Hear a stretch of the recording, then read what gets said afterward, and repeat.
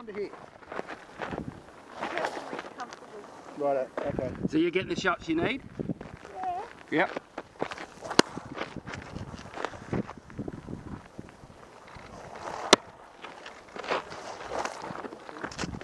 Very slow.